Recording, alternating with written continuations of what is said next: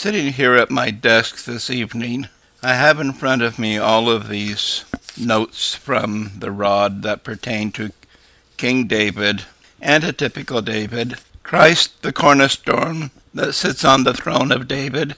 Uh, what I did was I went through the rod and I cut and pasted. I copied all of these statements into a Word format, and then I clipped out those statements that pertain to King David. And then I went through them individually, and I'm still going through them individually, because it's a very overwhelming subject. And I can see how some people have come to the conclusions that they have. But one of the conclusions I did discover that struck me rather interesting, which is a side issue, but you can consider it. The branch people say that the Holy Spirit is female. And they go through the conjugations of the word for the Holy Spirit, and they look at a phrase where Mrs. White says she, and they call it the Holy Spirit. Well, in 8 tract, page 71, Brother Houteff says the antitypical David there is the Holy Spirit. That's an interesting thought. David is a man's name, and it is the Holy Spirit. And I thought to myself, I wonder how they justify that because there's another a number of other references where we find that the Holy Spirit, Christ in you, the hope of glory, Colossians chapter 1 around verse 27 is talking about Christ. Christ the true interpreter, Christ who breathes the Holy Spirit down upon us, the Holy Spirit that feeds us the truth, the message for the hour, and they said it's a female. I just wonder how they did that. But in going through these notes here, I've noticed that before we get into them. I noticed that context is ignored by quite a few people that are studying the subject of David, and they're not considering the time frames. They're using proof texts to prove something without looking at the whole chapter, without feeding upon every verse, every line, and every word. Context. They do like many people do to prove a point. They gather all the verses that they can find and they say, well, this proves the, that this position is correct. It doesn't prove anything. All it does is it proves that you gathered a whole bunch of verses. But what you did not do was read the thought and intent of the writer. And this is most important because oftentimes if we don't have a clear understanding of a subject and we don't have a commentator for it, then we must go back to the original writer and read the entire content of the message that he is providing or bringing to our attention. When we do that, we begin to understand what the writer is actually teaching as opposed to what we think he's teaching. The message teaches that in the Leviticus, the purpose of Brother Houteff's organization was to prepare a throne for David to sit on. And then he goes on and he tells us that Christ, the Son of David, sits on that throne. He also tells us that David sits on that throne. And then he tells us, he reminds us that Christ is the cornerstone and he sits on that throne, and Christ is David. The fact that he is called the Son of David indicates that he is the lineage of David. When we go back to his baptism by John, it says there, God spoke from heaven, saying, This is my beloved Son, in whom I am well pleased.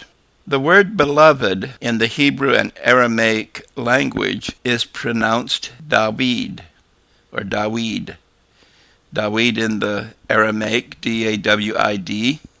David, I believe in the Hebrew, D A V I D. So what did they hear that day? They, they heard God say, This is David my son, in whom I am well pleased. The translators chose to use the word beloved. As we progress through this discussion, because I'm not going to call it a study, I'm going to call it a discussion. We're going to look at many of these statements in the context of the chapter. One of the paradoxes that we have is Isaiah 3 5. It says, after many days, they will come back and they will choose David their king. Hosea 1:11 says they shall appoint a king over them. When we go through the rod, we find two things, two comments on them that are of interest. One, Victor Houteff states, the choosing of a king, King David, takes place in the ingathering time, today. And this is true. If you do not take Christ as your Savior and as your King today, you certainly won't do it in the kingdom either. You must do it today. You must allow the covenant agreement to take hold of your life, every aspect of it, everything that is written concerning the character of God, how He created us, why He created us, the importance of the dietary laws, the importance of the moral laws. They must be written upon the heart.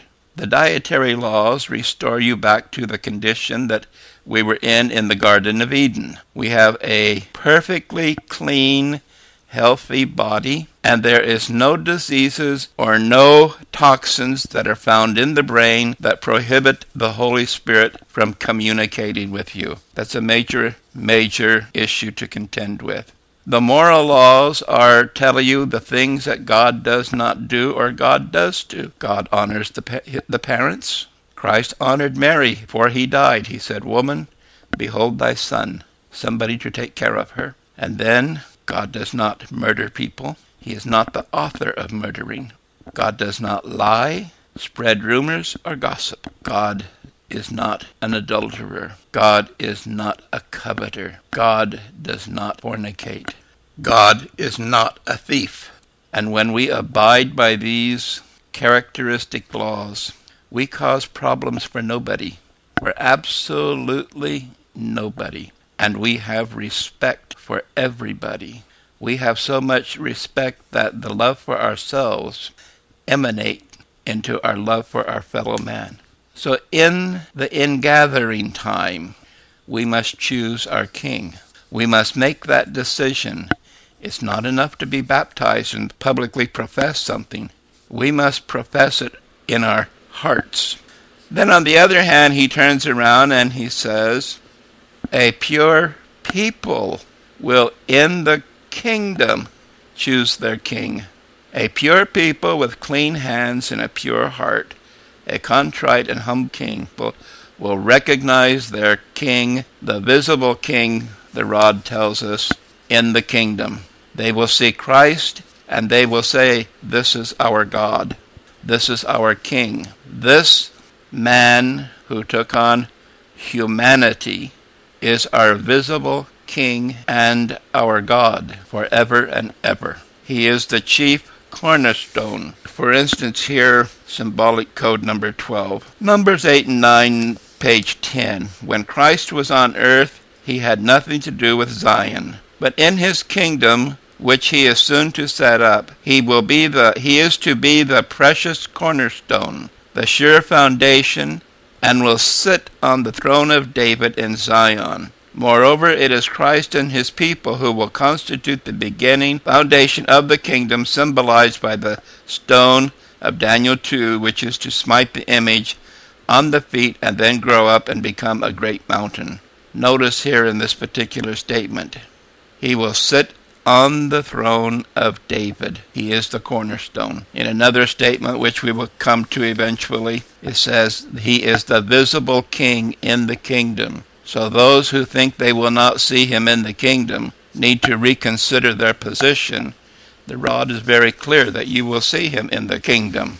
The subject, as I looked, as I have been looking at it, pointed out clearly, and I must reiterate it again: time and place, time frame, context. Ezekiel 34, for instance. And I will raise up, I will be the Lord their God, and David my servant Victor Houteff says this cannot be Christ because the message calls him the son of David. Well, when I come to this and I show you, Victor Houteff points out that all of Ezekiel 34 is in the gathering time, in the time when there's movers and shovers, in the time when there are those who take positions of little popes. In the time when there are those among the laity who are being high minded, in the time when there are those among the ministry and the movers, the, the people who are considered the movers and shakers, there are those that are high minded. In that day, God will take the reins in his own hands. That's Ezekiel 34:11. I, even I, in the days of the false shepherds, will feed my flock. This is a gathering time experience. So, of course, it cannot be Christ, the visible King. Not at that time. It is Christ, the invisible King, who is also called the Holy Spirit. This is borne out in tract 8, page 71, in the day that there are those who send the message that saying, We will not have this man to rule over us. And Victor Houteff says, This man is the invisible king, the antitypical David, the Holy Spirit. So, my friends, my brethren, in the gathering time, Christ is invisible because he is sending the message through the Holy Spirit to work upon our hearts. And as I go through all of these notes, I want to share that with you. Christ in us, the hope of glory, is what Paul says in Colossians 1:27. So I hope that as you listen to this study or to this discussion, that you will bear with me, this old man of many years, and you will open up the rod and you will look at these various statements, and I pray that you will consider them in the context of the writer in the context of the prophets. Let the prophets be your guide in the manner with which they have delivered their message. God bless.